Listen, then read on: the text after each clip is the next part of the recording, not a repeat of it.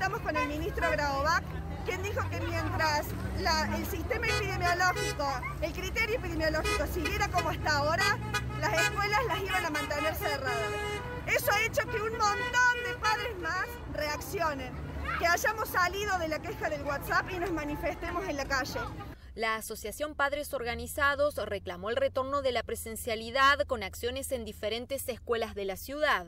Además, la agrupación celebró la admisión del amparo presentado por familias de Villa Allende y Mendiolaza, quienes fueron citadas por la justicia a una audiencia el próximo martes. Ese fue el tercer amparo presentado, ese está circunscrito a la jurisdicción de Mendiolaza y Villa Allende, pero nosotros lo tomamos con muchísima alegría porque significa que han leído las acciones, porque estamos pidiendo por derechos constitucionales que claramente están vulnerados, el derecho a la educación y el derecho a la salud integral de nuestros hijos.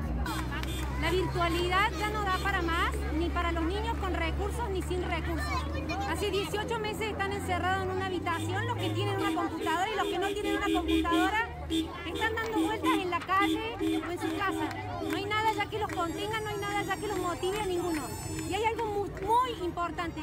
Cuando vuelvan, vuelvan todos, niños y adolescentes.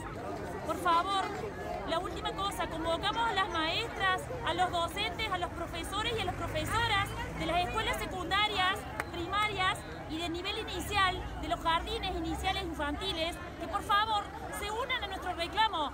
Ellos, ustedes tienen que querer también que sus alumnos estén en las aulas y no detrás de pantalla encerrados en sus casas.